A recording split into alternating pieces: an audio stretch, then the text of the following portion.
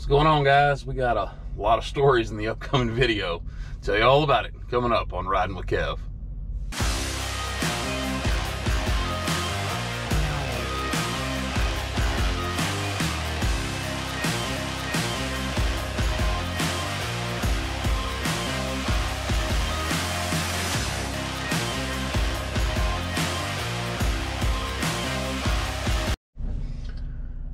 Quick post-production note I'm going to put in this video. I ended up shooting the update and then what I wanted to talk about and the video was just too long. I don't believe in 20 minute videos. I don't have time. You don't have time.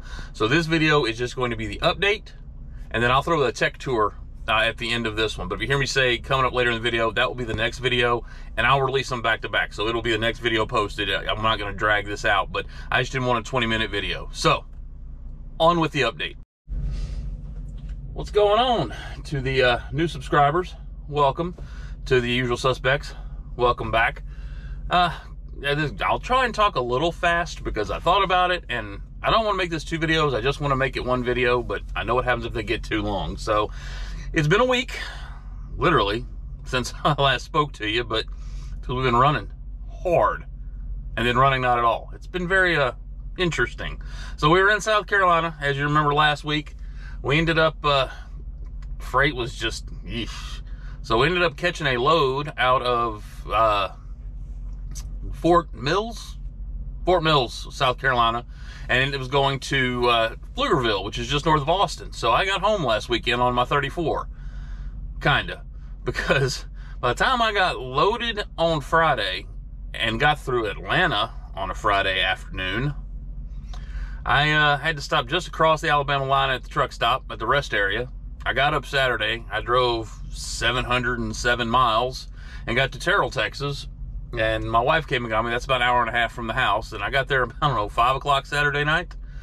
Got home about 7, 7.30 and uh, spent Sunday getting groceries, doing laundry, video games with the kids. And next thing you know, boom, it's Monday morning. We're back in the truck.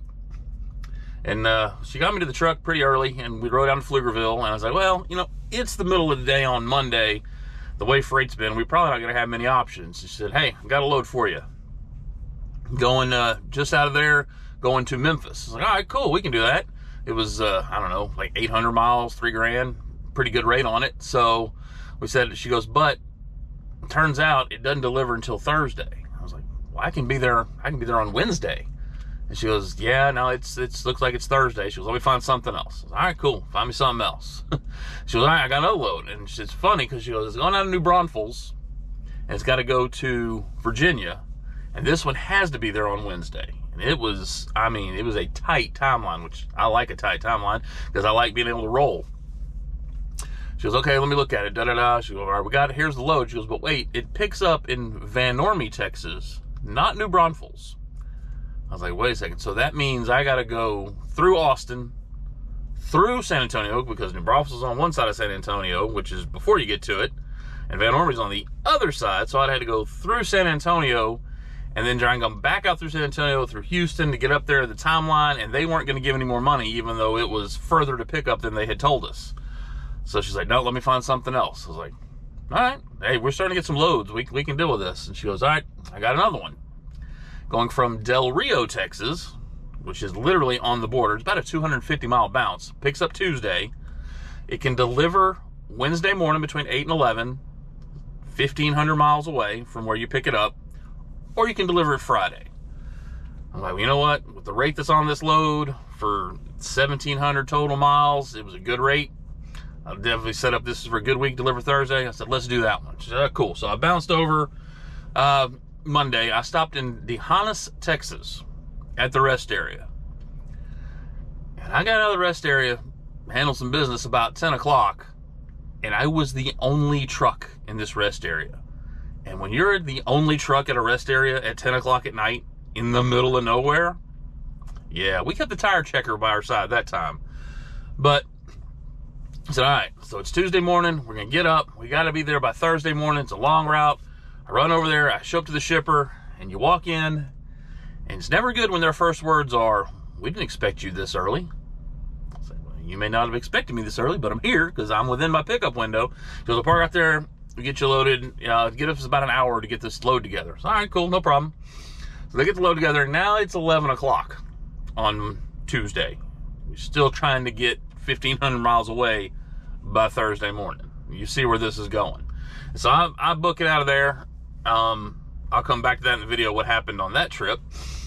I got to just outside Oklahoma City, and this is one of those trips, and I love them. Like I said, some people don't, but it's literally you run your clock, clock ends, you park at 10 hours and one minute, you're up the next day pre tripping.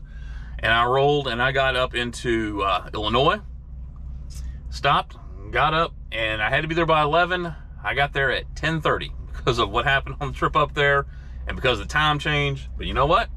I got unloaded. And so now it's noon on Thursday. And I tell my, my dispatcher, I say, I need a favor. Your boy's tired. I was like, hey, you know what? Rather than I only got six hours on my clock, rather than, hey, let's try and find a short load and do this and do that, I'm going to run the truck stop, find me a good load for Friday. And she goes, you got it. That makes sense. I, I don't, because I try when I can to help my dispatcher. I try and go, I don't want her spinning wheels. She's trying to find all these short loads and I don't really want to do it. then I'm wasting her time. And her time is just as valuable as anybody else's. And so that's cool. So I get up Friday morning, no load. It's, she's like, you just don't even want to see freight right now. I was like, I understand, I understand. Um, so you know, I went back there and I'm watching YouTube. I fell asleep. Whoops. I said, the boy's tired. I'm getting old. And so I got like Friday at 3:30, my phone rings and wakes up. Oh my god, it's 3:30 on Friday. I haven't had a load all day. Oh my gosh, what's going on? And I'm supposed to. This is my weekend load. This is my money maker, right? And she goes, I got a load for you. Check this out. So you're gonna have to run it overnight. Okay. Picks up 70 miles away. All right. It's going 300 miles. Okay, that's like less than 400 miles. Yeah. But it's got to deliver before 6 o'clock in the morning on Saturday. So my weekend run is 12 hours. So yeah, it's 500 pounds, paying two grand. You playing the home game, that's about five bucks a mile. So I was all right, let's go. And I rolled over there. It took them 10 minutes to load it. I said, hey, I'm going to split berth this so that I have hours to get parked. And uh, then I'll run it over there in the morning. They said, no problem. So I of caught a little cat nap there, and then I rolled over, drove all night. And since I had to go through Chicago in the snow, I was kind of happy about it being middle of the night. But I got there this morning. They're like, all right, back up to the dock right there. It's three boxes, 500 pounds, unloaded in no time. Bounced over here to the Love's in Fond du Lac, Wisconsin. And I'm on a 48 because now my weekend load, since I don't have to deliver it on Monday, come Monday morning, I'm ready to start a new week. I'm empty, fresh clock. I'm in a good reload area in Wisconsin, so it definitely, definitely has worked in our favor. Plus, I have to do my taxes tomorrow. So tomorrow is going to be a very long day. So now, take a break here and we'll get into the purpose. All right, now, like I said, the next video will be what I, uh, what I was going to talk about, but here is a tech tour, which is also about 90% changed. This video is old. I've actually completely switched to uh, Android. I don't have anything Apple on the truck anymore, but it still gives you the gist, and I want to get it posted. Talk to you soon. So the first tech we'll talk about is just tech driving down the road. Now I have the seat lowered a little bit because the GoPro's on my head. When I'm driving down the road, I have two GPSs. Not because I'm lost, not because I don't know how to drive, but normally I'm on Google Maps, but thanks to Travis Kinley, I have the diamond status, ooh, big me, on Trucker Path, so I use that. And the reason I have this up is because I like to see the satellite. I like to know when I'm going to go somewhere, if I'm going here, just for grins, but you can't see it too well here because it's a path, but trust me, it's there when you're driving, is if there's two turn lanes. That's why I like Google Maps, you know, and you can see rest areas. I can see the layout. I'm obviously in the middle of a bunch of fields, but I like having the satellite imagery just if I'm coming up on an intersection I'm not sure, or, you know, I use my Diesel 1000, which I absolutely love because I'm blind. The big screen helps. But sometimes you may come to an intersection and the purple doesn't make it real clear what you're doing. I can go back over here and I get navigation with some satellite imagery. So I run two GPSs. I also run Bluetooth, you know, hey, you know who, on my phones where I run my music. So all my music, my podcast, it's all voice command. I love that. So I use that for my radio. That's my navigation for imagery. That's my navigation for my truck because again, trucker path, trucker, this is designed for me. I keep it updated. So I will look up here. That's where I keep my headset. I do not wear this thing driving down the road. I have the 220. I had to go with digital camo. That's the only reason I got it. And Johnson Logic said, you need to get this. And so I did. I have no regrets, but I just keep it hanging right up there.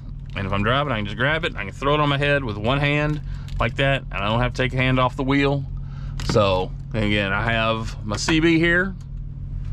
We have the Uniden Bearcat 880. I mounted the uh, external speaker. My little thing came off. I got to hang that back up. I don't normally drive with this hanging down normally. It's put up like that, but I do like to talk on it even though nobody else seems to. And you go into the back. So I thought I was gonna have to buy a TV mount, but I don't because it wedges in there perfectly. And I only use that TV when I'm on 34s or overnight. So I do have, it's a Vizio, it is a smart TV.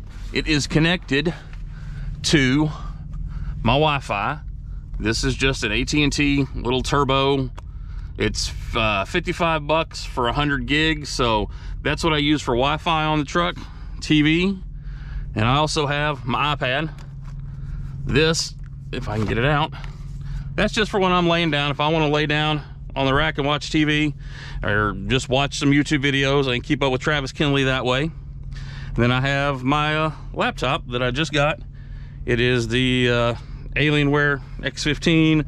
That's what I've been using for videos. So laptop, lap of luxury. Pull this out. I think we're gonna start doing, if we can. So it's kind of weird because I got the laptop there, but I got my mouse over here because it's so big, but that's what she said. So we're gonna do that. And I can, actually gonna start gaming with the kids. So I actually have an Xbox controller for this. So we're gonna be gaming with the kids. That way my kids will be able to spend some time with dad. They, I'm a Call of Duty freak. I've been playing Call of Duty forever, but now my kids are into Apex. So we might be doing the old Apex thing. So now again, I have the updated, upgraded microwave. This thing is a hundred bucks and it has I was gonna show you, but it's not plugged in. Bake, air fry. I can cook a pizza and it comes out crispy. I can cook chicken nuggets and they come out crispy. I can cook a steak in here if I want to. So fridge, I don't really call fridge tech. It's a built-in fridge. You've seen that before. So that is the tech that I use in my truck to get me through the times when I'm not with my family. So hope you enjoy.